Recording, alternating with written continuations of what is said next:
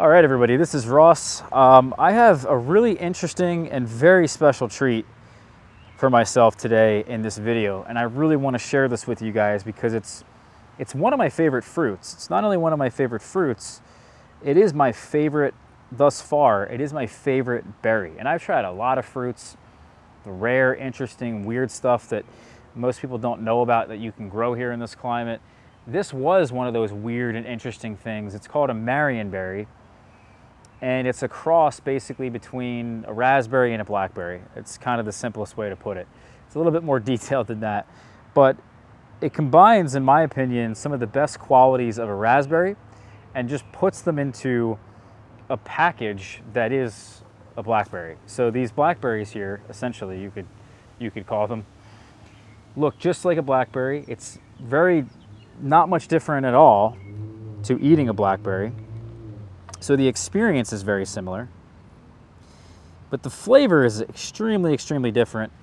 Um, it really does have an intense raspberry flavor. That's where that raspberry parentage comes in. And the raspberry flavor is so intense that it blows any other raspberry I've ever had out of the water.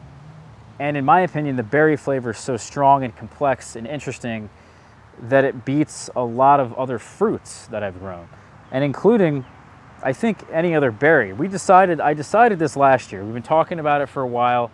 We finally got a taste of this thing and I've just been really, really impressed with it. So I hope this year after trying these that are in my hand here that we're gonna finally maybe put this to bed and really I could confidently say that this is my favorite berry. Um, I'm already in the process, by the way, of how much I like this. I'm already in the process of propagating it. I know blackberries and raspberries and a lot of these canes are very easily to uh, very easily propagated. You can just stick the tips right in the ground, and at the end of the season, dig that up and plant it wherever you want. Um, I decided actually this year to different, do a different propagation method where I'm actually doing some uh, rooting of the cuttings. I'm taking some cuttings, dipping them in rooting hormone, and trying to root them. We'll see how that works out, but my goal at least with that is to have many more plants because I do really enjoy this berry quite a bit. Um, you know, today is I think July 14th, but I would say, you know, I didn't get out here early enough and net the uh, the berries. I didn't realize that the birds were going to get them as early as they did, and I probably could have gotten them in early July. So maybe that's probably an, a better, probably a better estimate there. Uh, this is actually a, one berry right there that's that's almost ripe, has a little bit of red inside of it. That's kind of the trick, by the way, with harvesting not just these, but also blackberries in general, is that they turn that red and then they turn sort of like half red and half purple, as you can see that one right there. And then they go all the way to that purplish uh, black color. And if you still have any red inside, you can kind of, um, you're kind of picking them a little too early. Oh, and one other thing before I put the camera back is that they have some sort of, looks like anthracnose or some kind of disease on the leaves. And um, never seen this before, at least last year, I don't remember seeing it. But it definitely looks like, you know, there's a lot of, there's a lot of leaves in this small area. Therefore, there's not great um, airflow and it's probably encouraging that disease, whatever that is. Again, I think it's anthracnose. I don't exactly know. Maybe it's rust, but uh, hopefully that doesn't become a huge issue uh, for me in my yard. Maybe someone in the south, if you're trying to grow these, would kind of struggle with that. But you know, I would still try it anyway. I don't, I don't think it's going to be a big deal personally, but it's worth looking into. So let me try these now and see uh, if the hype that we had last year is still the same. Whoa. Oh yeah. mm. Guys, I'm telling you, whoa, that is such a great flavor. It has like its own flavor too. It's not even necessarily a raspberry. It's kind of like an artificial grape flavor. If you took an artificial grape flavor, added in a raspberry, had that explode in your mouth because that's kind of what blackberries do with all those individual little pockets of juice. It's so soft, it's very sweet, it's a little tart, Um, and the flavor is so complex and interesting that it's just mind-blowingly good. Yeah, I, I do actually. I do believe that is my favorite berry for flavor. Um, wow, that's so good. And, you know what else is up there, by the way, is the goumi. There are some blueberries I grow that are, I think, really good as well. Uh, the honeyberry, I would argue, is up there as well, and so is the black raspberry.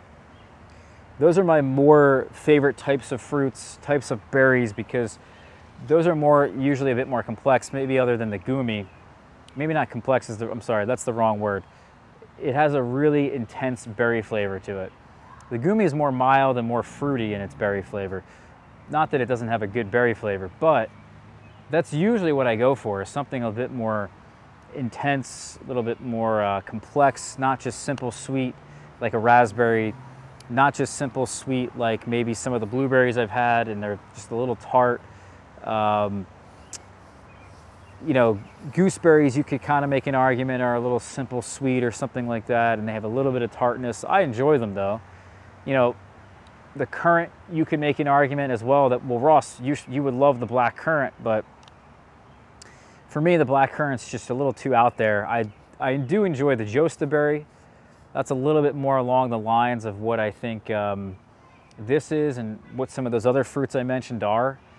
This one for me though, I think what really brings it home compared to those other fruits is that it is sweet and it has the most amazing berry flavor and it is quite, uh, quite tart. So it's got different layers and it's not just like a honeyberry that's um, very complex in your face, awesome berry flavor, and then it's just not very sweet. Same thing with the currant, it's just not very sweet.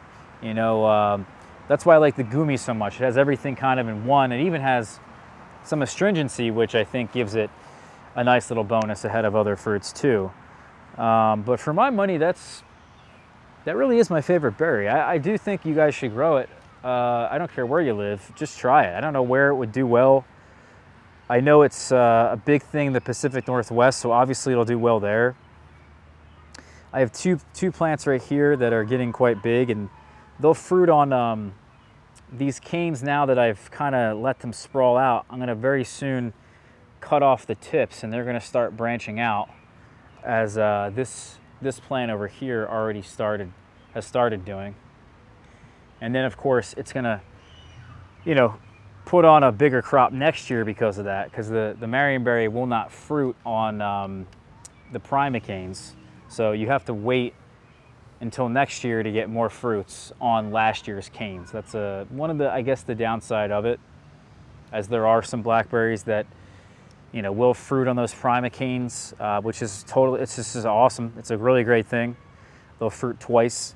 So at least for me, that's my plan for now is to get them on the trellises, cut them off, let them branch out.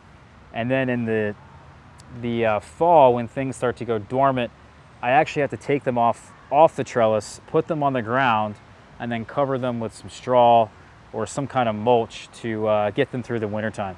Believe it or not, here in Zone 7A, they are right on the edge of dying or surviving. So it's really a good idea if you are growing these in a colder place like a 7A that you do put them on the ground and insulate them to get them through the wintertime. And then when the spring comes back around, you plop them back up on the, on the trellis.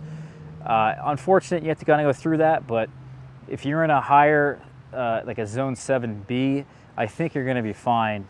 It's really right around five degrees that they start to, you know, take damage and uh, and could potentially die. So uh, yeah, it's uh, that's a nice little tip there, and that's kind of just what I go through here. Other than that, it's kind of very straightforward, like growing a, a blackberry or a raspberry.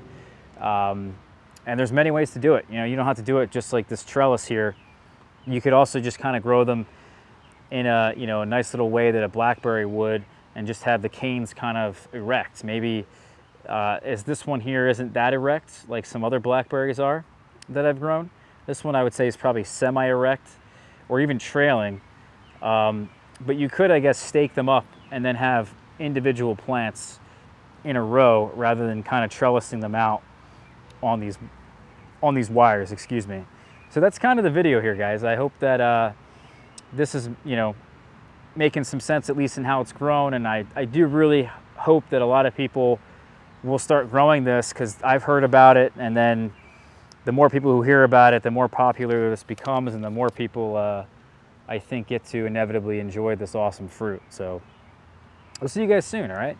Take care and uh, check out other videos we've done now on other fruits and the Marionberry as well. We'll see you soon, all right? Take care.